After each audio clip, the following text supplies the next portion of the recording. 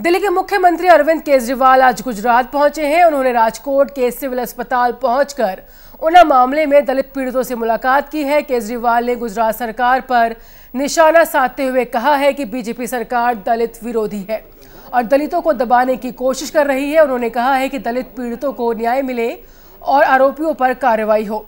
इससे पहले जारी वीडियो मैसेज में केजरीवाल ने गुजरात के सभी समुदायों से अपील की है कि वो राज्य में बीजेपी के दमनकारी शासन के खिलाफ एकजुट हो। उन्होंने कहा कि गुजरात में ये सिर्फ़ दलित समुदाय के साथ ही नहीं हो रहा, बल्कि ऐसा लगता है कि गुजरात सरकार दूसरे समुदाय के लोगों को दबाने की कोशिश भी कर रही है। तो अरविंद केजरीवाल गुजरात पहुँचे हैं और पीड़ित परिवार से मिले हैं। आपको बता दें कि दलित वोट बैंक की राजनीति शुरू हो गई है। इससे पहले राहुल गांधी पीड़ित परिवार से मिले थे और अब आप तस्वीरों में देख सकते हैं कि अरविंद केजरीवाल पीड़ित परिवार से मिलते और उनका हालचाल पूछते नज़र आ रहे हैं। आपको बता दें कि 11 जुलाई की ये घटना है और संसद में ये मामला उठने के बाद मामला गर्मा गया था। तो ये सब पीटा गया वो थाने के सामने, पुलिस की मौजूदगी में। तो अगर थाने के सामने पुलिस की मौजूदगी में ये होता है तो इसका मतलब सीधा सीधा है कि प्रशासन के इशारे पे हो रहा है।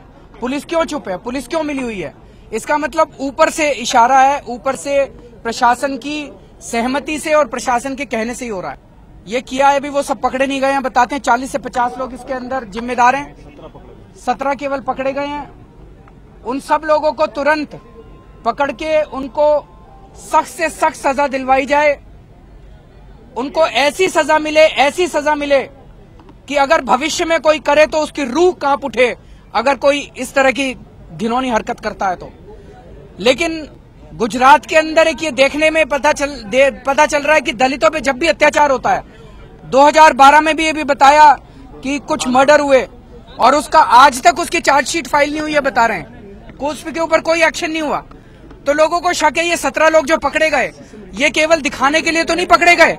इनको भी थोड़े दिन के अंदर जाँच में कमज़ोरी करके कुछ छोड़ दिया जाएगा बाकियों को पकड़ा नहीं जाएगा। इसके ऊपर और जब प्रशासन शामिल हो तो इसी किस्म की घटनाएँ की जाती हैं। ये दलितों की सुरक्षा के नाम पर सियासी सैर है। और जो लोग दलितों की सुरक्षा के नाम पर इस तरह की सियासी सैर करने के ए, माहिर लोग हो गए हैं वो इस तरह का हर वक्त उन्हें लगता है कि ये कोई उनके लिए जो है वो आ, महोत्सव हो गया है। उन लोगों के जख्मों पे मरहम लगाने की उनकी ना मकसद है, ना इच्छा है। केवल जो है वो राहुल गांधी जी पहुँच जाएँगे एक दिन, उसके पीछे पीछे जो है अरविंद केजरीवाल जी पहुँच जाएँगे, फिर कोई और पहुँच जाएगा। तो मुझे लगता है दलितों की सुरक्षा का पर जो के नाम पर जो सियासी सैर है, वो बंद होनी चाहिए।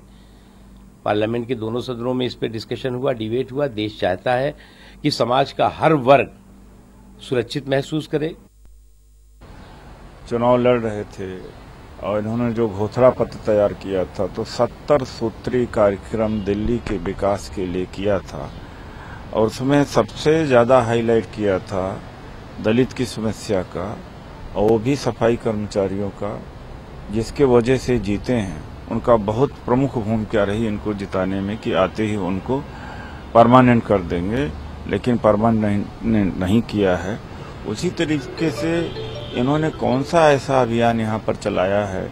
चाहे वो भर्ती अभियान हो, या जिस तरह से कहा था कि 500 आदर्श स्कूल बनाएँगे और सस्ते दर पर कर्ज दिया जाएगा तो दिल्ली में कौन से दलित का विकास इन्होंने कर दिया कि गुजरात में जाकर के दलितों के मान सम्मान और विकास की बात कर रहे हैं?